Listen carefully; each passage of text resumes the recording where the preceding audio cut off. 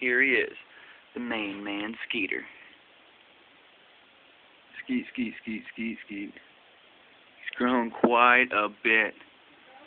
He was about half the size of this log last time he was on here. Now he'd, t- he'd take that fucking log out.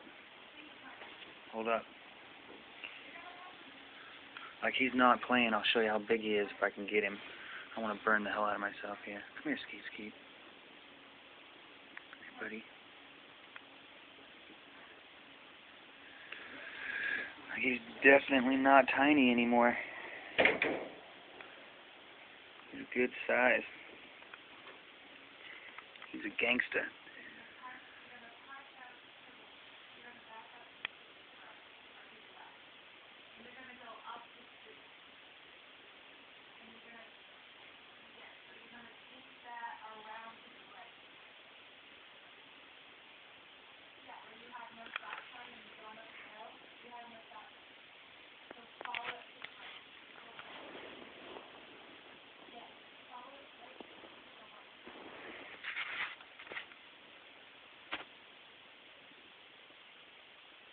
Shit, I'm a bigger guy. I'm like, I say almost six one. Not really necessarily a small guy myself. So he's a big guy. He's definitely over a foot. He's my buddy. He's fixing to become a pimp. We're gonna get him. I don't know what I want to do. We all can take some, give me some feedback on this, right? Been looking at putting a Uromastyx in there with him, but I've read, you know, from people that oh that's not good, blah blah blah blah blah.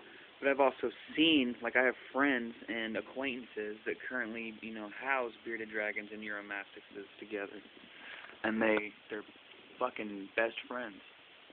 So I mean, he has a big cage. This is it's only a 55 right now. I'm getting him a bigger one on Monday, which is just two days away.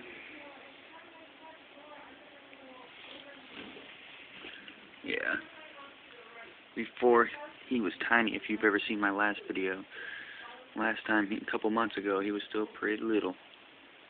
But that's Skeeter, and he's a pimp. Skeeter Valentine, the Beater Dragon. Peace out, bitches.